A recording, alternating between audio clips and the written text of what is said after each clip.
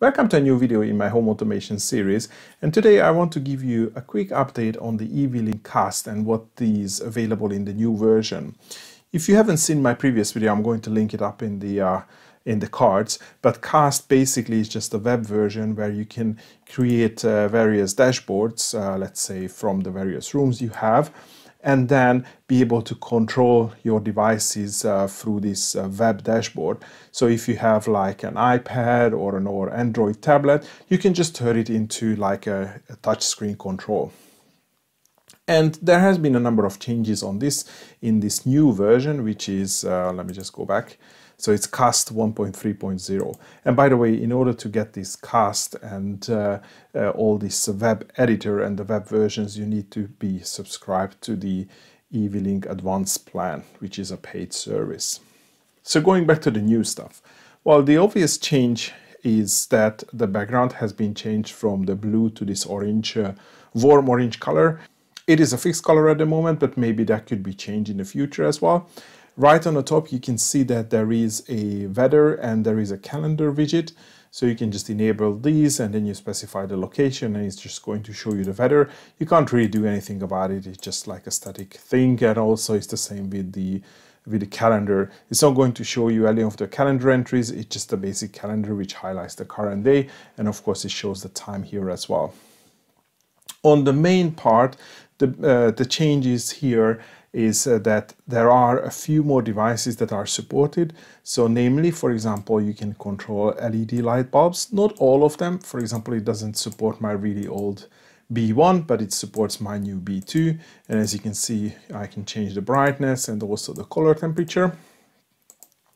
It also supports uh, LED strips. It supports, for example, my really old L1 LED strip, but I also have an L2 LED strip in the in the office and it doesn't support that so it's not all of them at the moment but as you can see that it, they are going to all these various lights fixtures with brightness and color and color temperature control so I'm guessing all of the strips will be coming in the future. So for example, from the, the bulbs, I can say that the B2 uh, and the B5 bulbs are supported.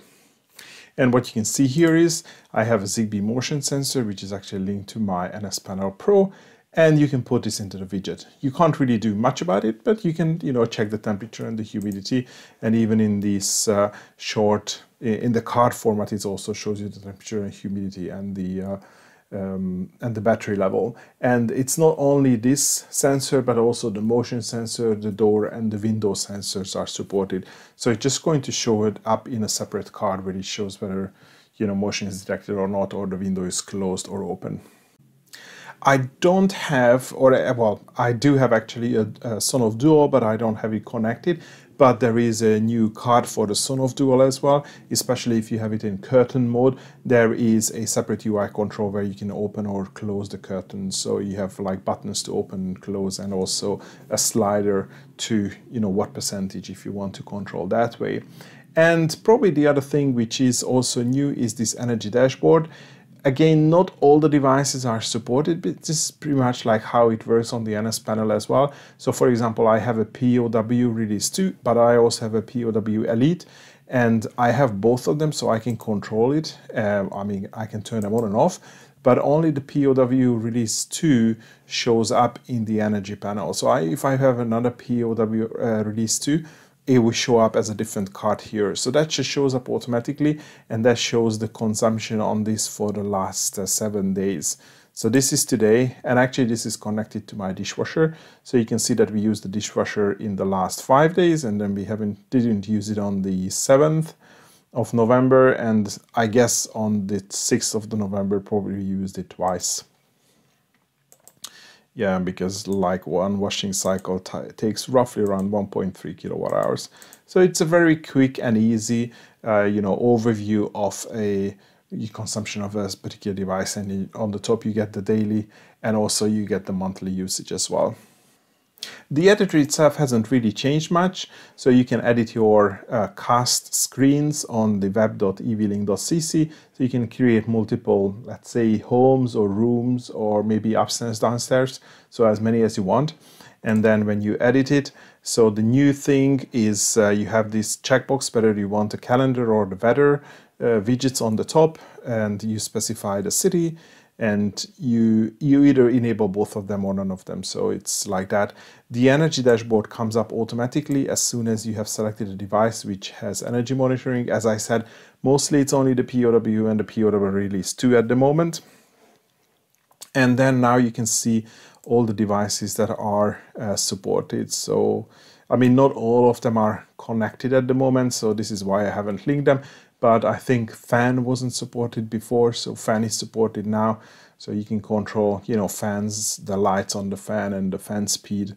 And uh, just like the bulb where you can control the brightness you can do the same with the D1 as well which is here as well. And as you can see POW you know the TX series and the T1 series are supported. This is the temperature and the humidity sensor. So if I have other Zigbee devices uh, that will show up here as well under their respective rooms.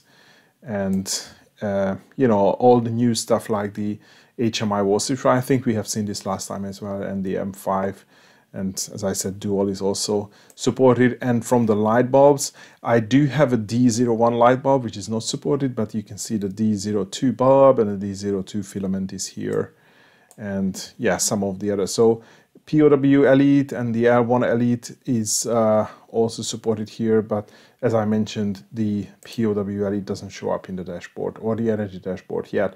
So if you want this type of monitoring where it shows up in your um, cast screen as well, um, make sure that you buy the POW release too, or unless you probably have to wait for a few more months until the Elite gets supported. So I think that will be all quickly. If you are interested in this, I'm going to leave links in the video description how you can access this page and of course how you can subscribe to the advanced plan. And if you want to learn a little bit more about this, uh, I explain this a little bit more detail in my original video when I talk about the eWeLink cast for the first time. So that will be all for today. Thanks for watching and hopefully see you in the next video.